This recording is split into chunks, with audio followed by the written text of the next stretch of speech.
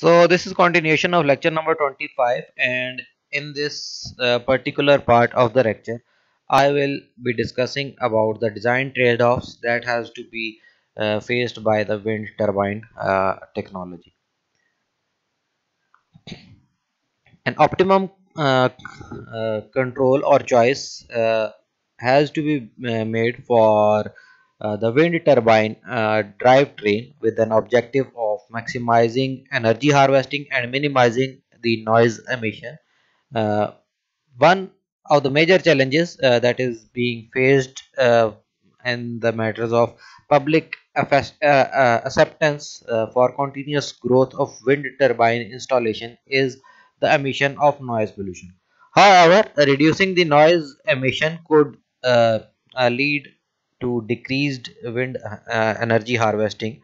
As a result, a trade-off rises between the power generation and the emission of noise pollution, especially when a wind turbine is operated under, under the partial load condition.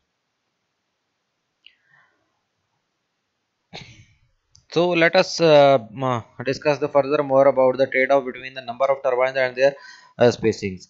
Uh, large turbines costs per uh, megawatt in the uh, and they uh, occupy less area but have lower annual megawatt or energy yield capacity downtime of one machine severely impacts uh, the uh, energy production.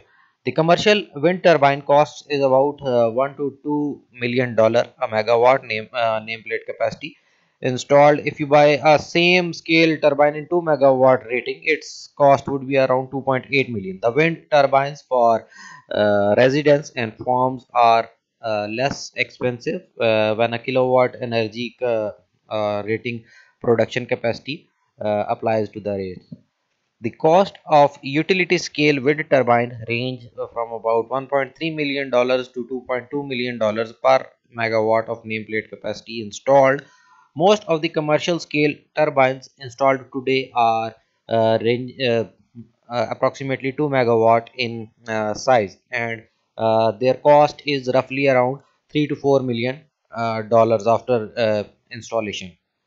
Wind power is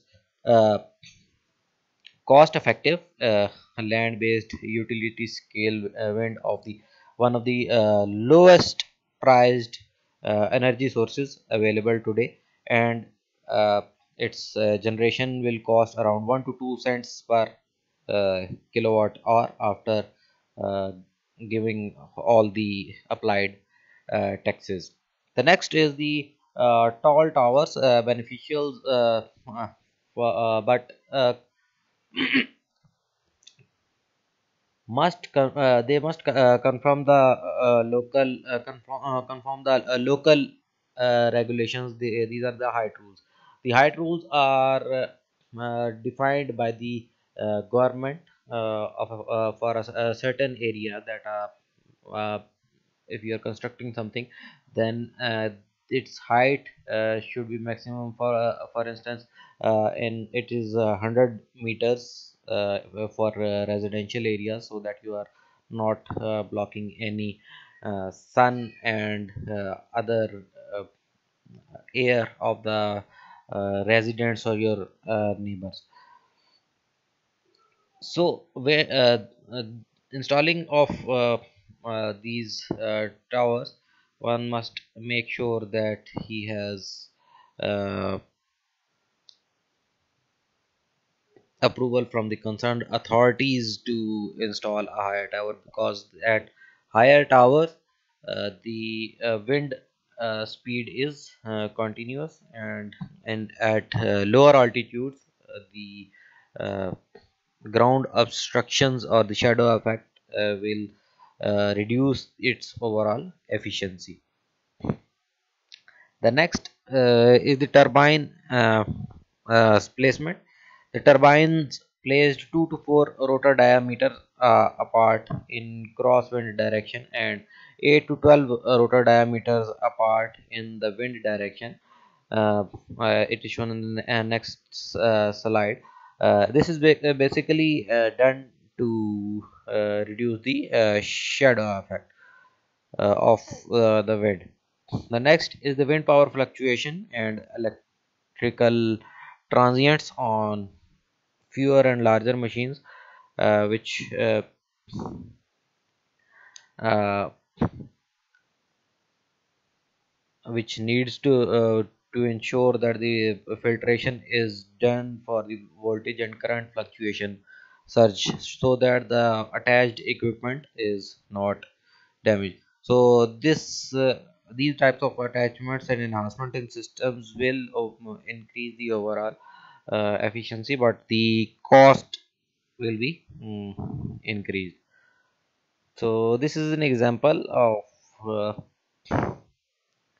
uh, wind turbine placing where uh, over here it is uh, these two windmills are separated by an area of sorry distance of 8 to 12 uh, rotor diameters of installed windmill and on uh, horizontal axis it is uh, around 2 to 4 rotor diameter.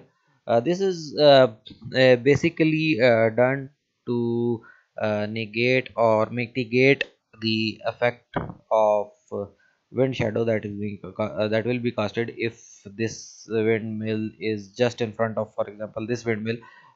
Then uh, the wind will be obscured by uh, the first one that is facing the wind and the windmill behind that uh, this one it will have uh, the less uh, power uh, that is being uh, casted on it by wind. So basically the uh, term uh, wind shadow is used to describe the disturbed airflow uh, and downwind or the obstructions and it is faced by the obstructions like uh, trees hills buildings and mm, it is the air movement that creates uh, disturbed flaky or choppy or uh, let's say uh, trashy airflow